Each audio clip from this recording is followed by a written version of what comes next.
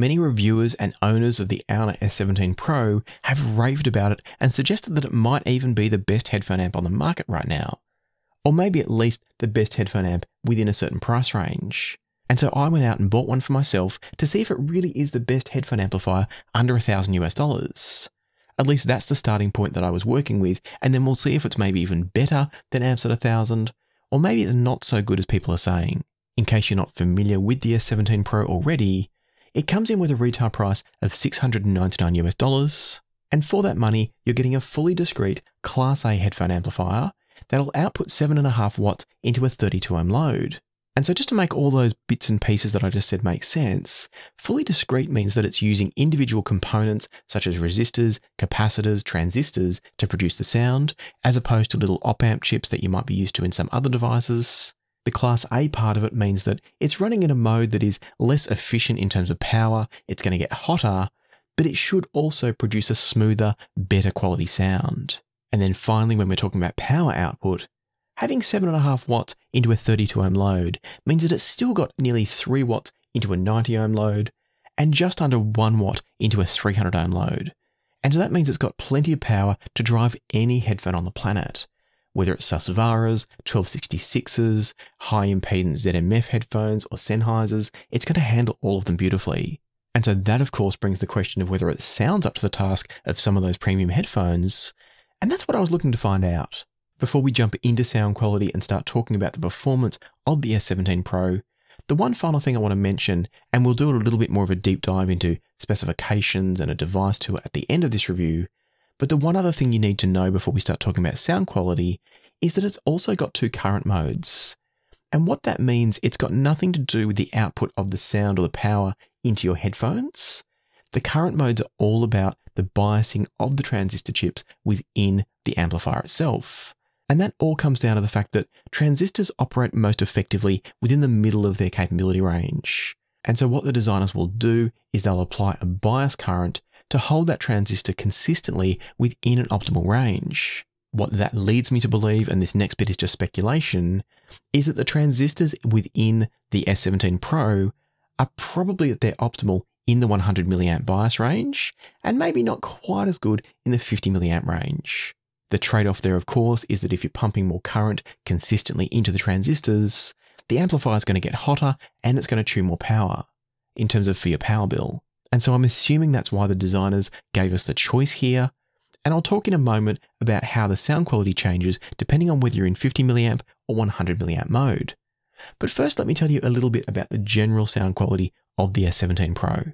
The way I made my notes on the sound quality for the S17 Pro was that I just ran it for a while, I listened to it, I got to know it, and then I sat down and I just made notes in the order that I noticed things. And this initial set of descriptions isn't comprehensive.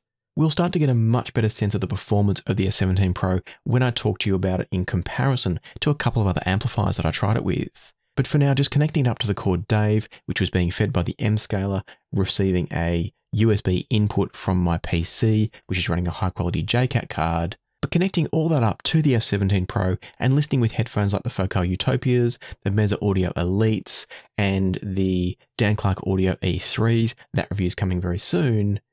Listening with a whole range of headphones, the things that I specifically noticed about the S17 Pro, and the very first thing I noticed in particular was that it's got a wonderful sense of size and scale and positioning of the sonic image. So you get a really nice sense of where each instrument is in space, the overall soundstage has good size and scale and depth to it, and it's generally producing a very enjoyable presentation. I also think the tonality of the S17 Pro is excellent. It's very natural or neutral. It's not at all warm or thick. And indeed, I don't understand why Aune have marketed this as having a tube-like sound because I completely disagree with that. For better or worse, you might want a tube-like sound. This isn't the amp for you. But if you want a neutral or natural, clean sounding and powerful solid state amp, the S17 Pro definitely fits that bill. And in fact, probably the only criticism that I can level at the S17 Pro's sound is that I find the treble is just a little tiny bit grainy or brittle sounding at times. It's not quite as smooth or refined as I would like it to be. Now, generally speaking, that's not a big deal. It's not really harsh or really nasty, but I think it's worth being aware of if you've got headphones that already lean towards a bright or more energetic or aggressive sound, the S17 Pro might not be the best pairing. And we can get into that more when we get to some comparisons in a moment, because I've got two other excellent headphone amps to put the S17 Pro up against. Before we get there though, I wanted to spend a little bit of time talking about those bias modes that I mentioned before. So we've got the 50 milliamp, which is the lower level bias, and then 100 milliamp, which is the higher level bias. As I said earlier, running it in the higher mode is going to produce more heat. It's going to make your power bill go just a little bit higher. But theoretically, it should produce slightly better sound. And indeed, I think it probably does, but the differences are very, very small. And I think this is quite an important point. I've seen some people say that it completely transforms the amp when going from 50 milliamp to 100 milliamp mode, and I really don't agree with that. I do think it makes a little bit of a difference, and specifically what I noticed was that the whole amplifier just becomes a little bit more relaxed to listen to in the higher bias mode. In general terms, the tonality doesn't change, the soundstage presentation doesn't change, really nothing about it changes, other than the fact that I found myself just relaxing into the music a bit more.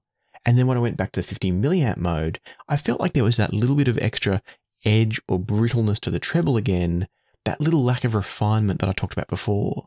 To me, even in 100 milliamp mode, the sound from the S17 Pro does have that ever so slight sense of grain or edge to the treble, but it's definitely better by a very small margin in that high bias mode. And so I think what's happening is that maybe some people are being tricked by their own expectations when they're switching between them, and I think that might be tripping up some people when they're listening to the S17 Pro. For example, a channel patron and I were chatting about this recently on the Discord server, and we were both talking about the fact that he'd gone from sometimes hearing a difference to hearing none at all. That gives you an illustration of how subtle the differences are. And it took me a little while to really get a handle on if there was a difference and what it was.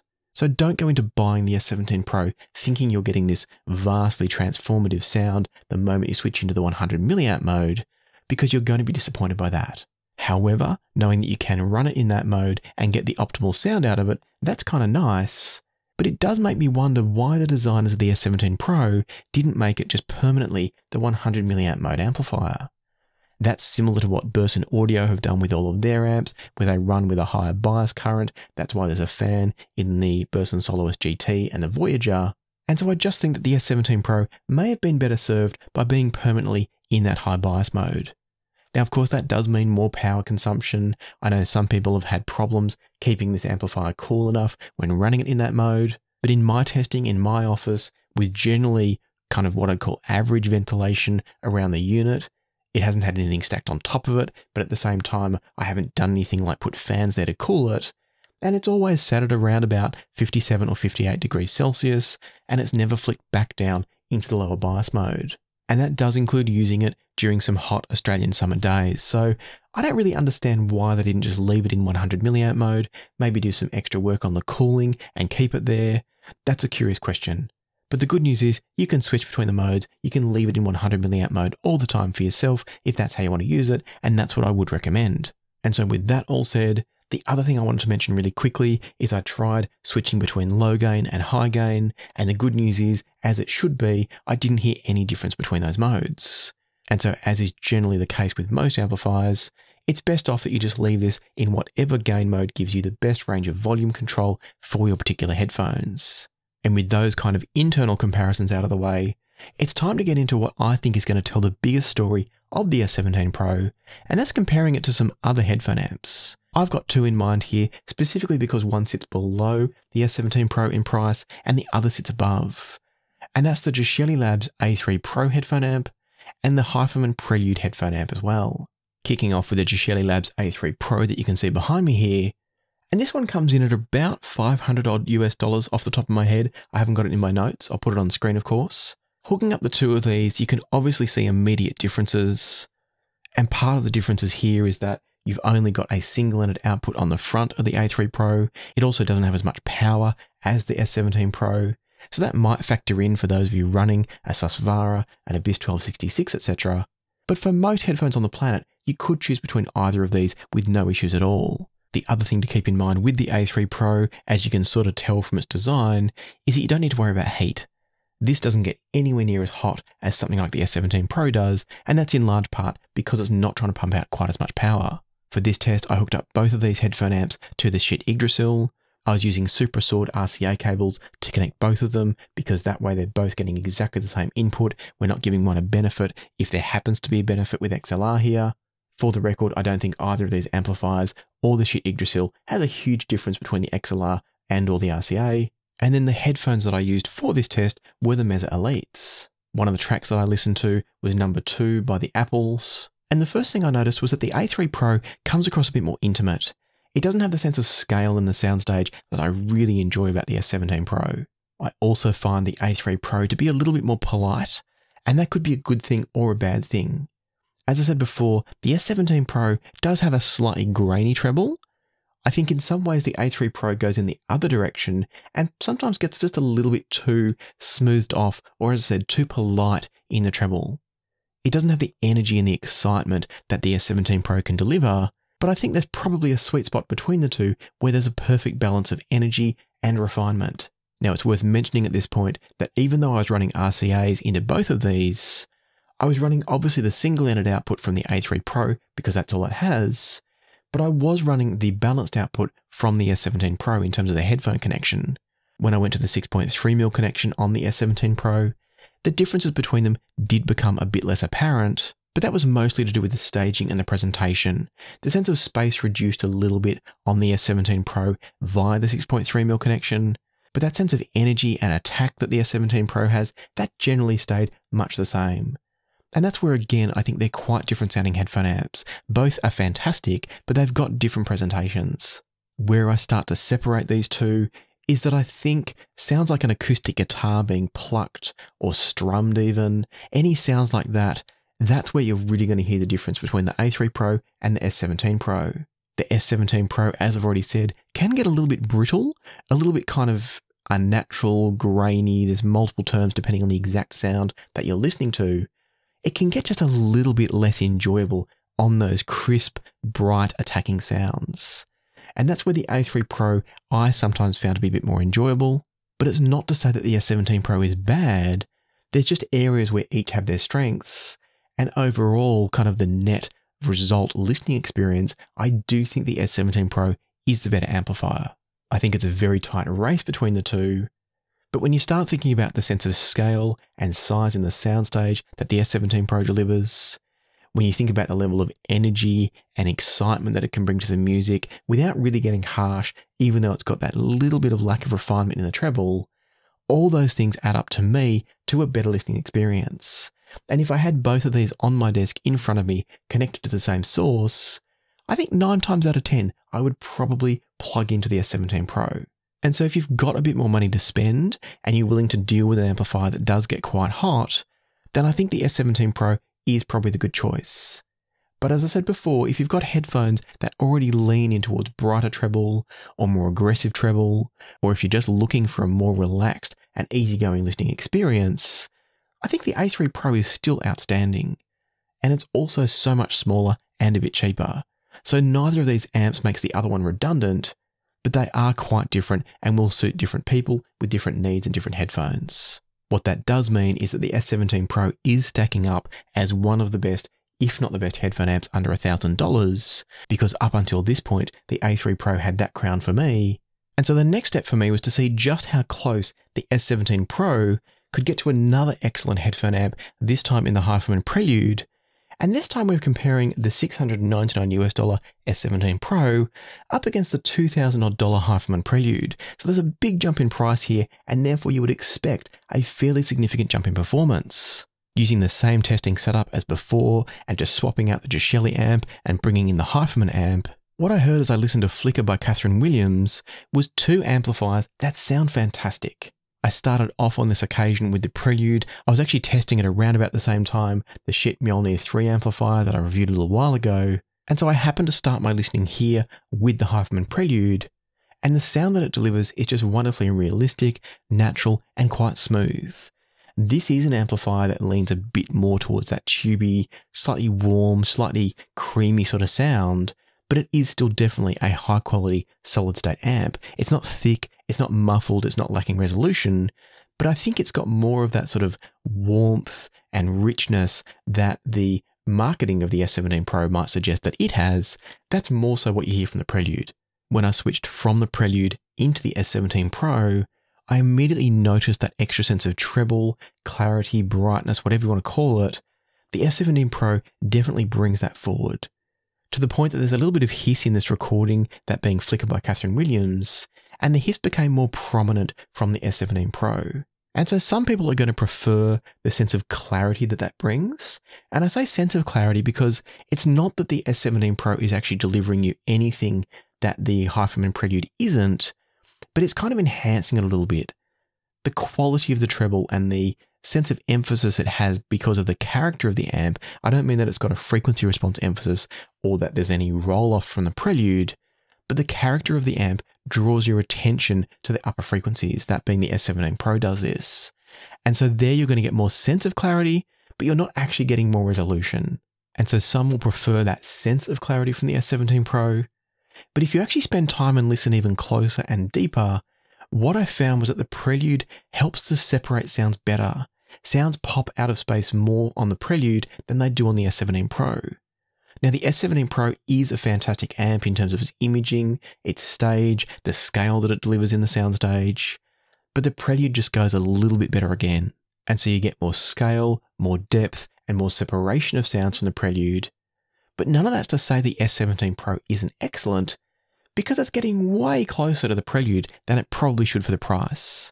Ultimately, just as I said in the previous test with the A3 Pro versus the S17 Pro, if I had both of these amps on my desk in front of me, I would probably plug into the Prelude 90 to 100% of the time. But having said that, if I were to have my time again and had to choose to buy one or other of these, as in if I didn't have both here in front of me, I think it'd be really hard to justify the extra price that goes towards the Prelude. It is better, but whether or not it's $1,300 better, that's a whole nother question. And definitely, I can see many people preferring what I would say is probably a slightly more neutral sound from the S17 Pro. There'll be plenty of people that prefer it for that reason. And by the way, during my testing, I did also do a really quick comparison that's not in my notes here, but I did a really quick comparison between the S17 Pro and the Schiit Audio Mjolnir 3. And as you would expect if you've seen my Mjolnir 3 review, it wasn't a particularly close battle. The Mjolnir 3 is as good or better than the Prelude, in my opinion, even though it's actually cheaper, much cheaper than the Prelude. And so the Mjolnir 3 really does become, for me, the very best amplifier, anywhere from sort of a thousand up to about 3,000 US dollars. The Prelude is still excellent, but I think the Mjolnir 3 is actually the bar to beat, and the S17 Pro doesn't get there. And so where that leaves us at this point is that I think sonically, the S17 Pro is probably the best headphone amp under a thousand US dollars. But once you get over a thousand US dollars, you get some really tough competition, particularly the Mjolnir 3, which I think runs away with it. And so for now, and I am going to say for now because I know that there's something else coming, for now I think the S17 Pro does take the win. I think it is the best headphone amp under a $1,000, but whether or not it can hold onto that crown for long, we're going to have to wait and see. The good news is that for now and even into the future, it's excellent value. It's a wonderful headphone amp, and those of you that have chosen to buy it or that are thinking about buying it, I think it's a great choice. And so, with all that said, from mostly a sound quality perspective, let's quickly talk about the design of the S17 Pro, because there's a lot about it that I love and a couple of things not so much. First of all, the things that I do love is that its general aesthetic and design I think is beautiful. It's a wonderful amp to interact with. I like the look of it. I like the display, the connectors, the layout, all that's fantastic.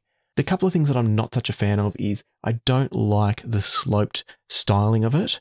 I think it's lovely in terms of the looks of the device, but the moment you want to think about stacking something on top of it, it becomes a little bit less comfortable. Most devices will give you enough clearance to stack on top of the S17 Pro, but I do always worry about the lack of clearance between the top of the S17 Pro and whatever's sitting above it. As I've already mentioned, there is also the heat factor to take into account. There is a thermometer built into the S17 Pro and it tells you on the front how hot it gets. And as I said earlier, it runs around about 57 to 58 degrees Celsius in my office here. That's with decent ventilation, but no extra things like fans. The one other thing that I'm not a huge fan of with the S17 Pro is the use of a multi-press system on the control wheel. So this is obviously your volume control here, but it also acts as your switch between the gain modes, the inputs, and also the bias modes. And that means that you've got a different number of presses to do different things or different length presses. And I find it a bit clumsy.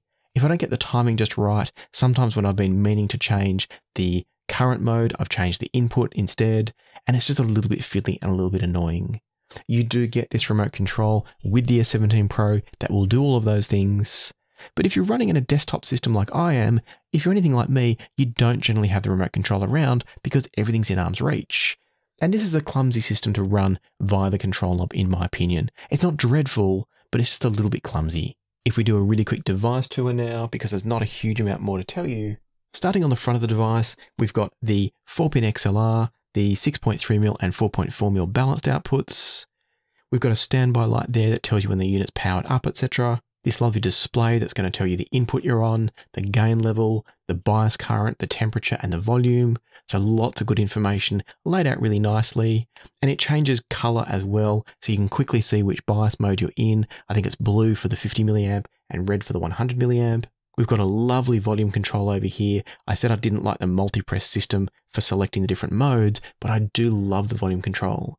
It's got a lovely turning action with a very slight sense of notchiness as you turn through the volume, and it's actually controlling internally an R2R or like a resistor ladder volume control system. So it's a very, very nice control. If we swing around to the back of the device, the back of the device is pretty simple. Starting over here, we've got your power socket and your power switch. The S17 Pro runs an internal linear power supply with its own toroidal transformer. And then you've got a pair of XLR and RCA inputs and outputs.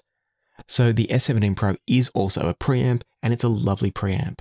Essentially take everything I've described from the headphone amp stage and know that that's how it's going to work as a preamp. So it's clean, transparent, neutral, excellent separation, excellent tonal qualities, etc. And so with all of that taken into account, the S17 Pro is incredibly good value. There's no doubt in my mind that it deserves the praise and even the hype that has been directed towards it. I don't think it's the perfect headphone amp. I don't think it's better than options like the Mjolnir 3 from Schiit Audio or indeed the Prelude from HiFiMAN. But at the price you're paying for it, nothing else really can beat it. And so I want to thank HiFiGo for helping out with the purchase of this one. As I said before, I did purchase this one, but HiFiGo, knowing that it was for review purposes, did help out with the price. So thank you to them for helping make this review possible. And if you're in the market for an excellent headphone amp and you want to keep your budget below a thousand US dollars, then the S17 Pro should be right at the very top of your list. The Geshelli Labs A3 Pro is definitely a close second, but as I said before, if you're looking for the power output that this one can deliver, nothing gets anywhere near it. And so if you are in the market for it, I'll put some links down below where you can go and pick up the S17 Pro for yourself. Some of those may be affiliate links, such as through to HiFiGo. So thank you to any and all of you that use those links. It really helps support the channel. And I hope that what I've been able to share with you here today has been helpful and informative with you making your decisions. As always, if you have found the video useful or interesting, then please hit the like button and subscribe and ring the notification bell if you haven't already. But for now, let me leave it to the music, so happy listening, and I'll see you here next time on Passion for Sound.